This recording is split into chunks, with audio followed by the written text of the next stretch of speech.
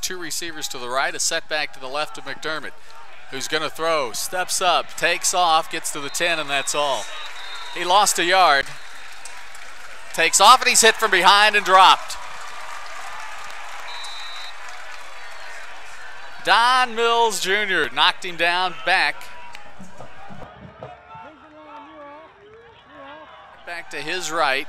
He gives the ball to nobody. He keeps it now, pitches outside. It's on the ground, and he's hit and dropped, and the Bullets did not get it. The Eagles defense was ready for that. They stayed at home. The left to McDermott, who works from the gun on third down. McDermott throws into the end zone. Touchdown. Touchdown pass to tight end Fred Puzzella. Snap is good. The kick is up. The kick is blocked. It's still heading toward the goalpost, but it didn't get there. Good snap. It's down. It's up. And it is perfect. In motion far side. McDermott rolls far side. He's hit and dropped. He was clobbered down there by Logan Whitaker. Sam to throw. Now he rolls right, keeps it. He's still rolling. He's hit and dropped at the five. Boy, what a hit. My goodness, a big hit by Chance Morris. Snap is good. It's down. It's up. It's blocked. It is blocked.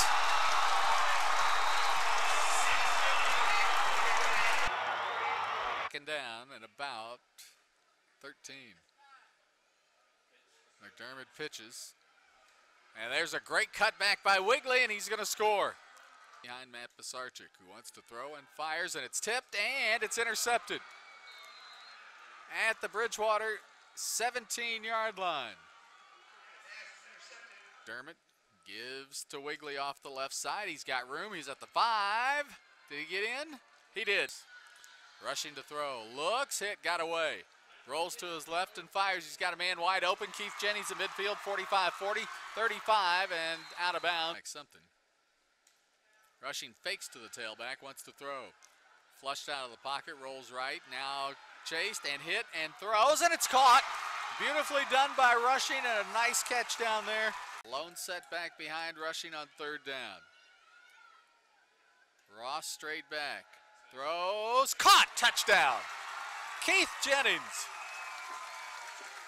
Big hole, 35 40, 45 50, maybe a foot race. 40, 30, 20, 15, 10, and he's driven down.